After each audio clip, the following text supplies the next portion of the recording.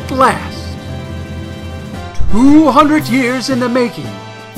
In honor of the bicentennial of the state of Illinois, it's the HFK Bicentennial Minute.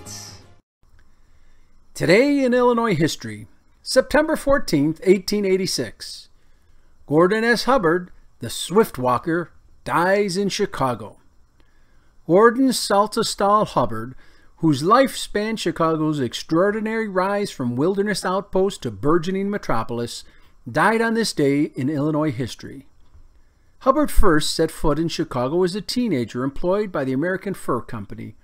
It was October 1818, and according to his autobiography, the future city then consisted of four and a half houses, a fort, and a Potawatomi town. The Native Americans nicknamed Hubbard Papa-ma-ta-bee, or he who walks swiftly. Hubbard transported goods from the Chicago area to Danville, Illinois, and along the Wabash River, cutting a path that came to be known as Hubbard's Trail, later Illinois Route 1. In the winter of 1828-29, he used the icy Chicago river, riverfront to store excess sides of pork, becoming the city's first meat packer. A few years later, he built what was derisively called Hubbard's Folly, an immense brick building used to store large quantities of produce, the city's first warehouse. In 1836, Hubbard used one corner of that building to open a bank, making him Chicago's first banker.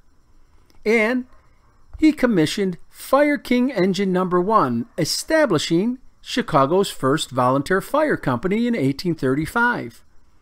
Hubbard was elected a representative to the Illinois General Assembly in 1832-33, where he introduced a bill to construct the Illinois and Michigan Canal, and he wielded the ceremonial shovel at the canal's historic groundbreaking on July 4, 1836.